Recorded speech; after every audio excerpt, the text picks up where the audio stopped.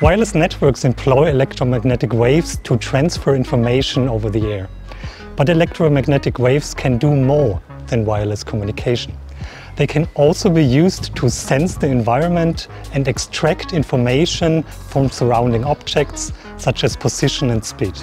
This is the principle of radar technology as it is best known from traffic speed control. Starting with 6G, future mobile networks will integrate both communication and sensing functionalities.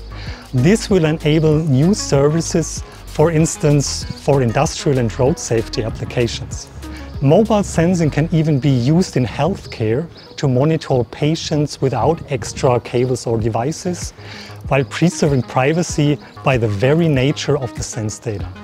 At the Fraunhofer Heinrich Hertz Institute, we investigate high-frequency, millimeter wave, and sub-terahertz radio signals for 6G networks and beyond.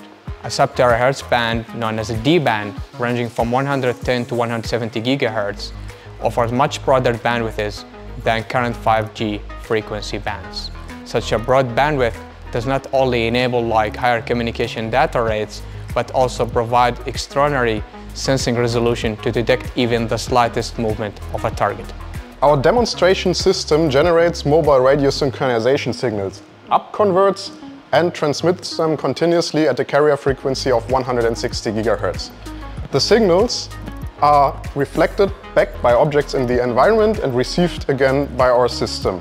It then downconverts, digitizes and processes them in real time to generate range Doppler maps.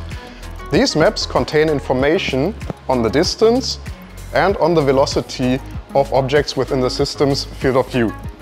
With a high bandwidth of 4 GHz, our demonstrator achieves a distance resolution better than 4 centimeters while the speed resolution is below 10 millimeters per second.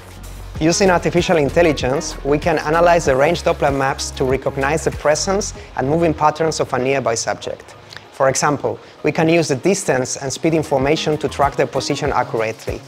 Moreover, we can distinguish between large-scale movements, such as the displacement of a walking person, and finer oscillating motions like those produced by a waving hand. Sub-terahertz research for 6G and beyond is just getting started.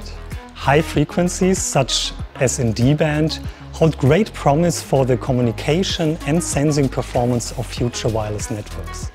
Our demonstrator is a valuable research tool and a first step to put sub-terahertz into practice.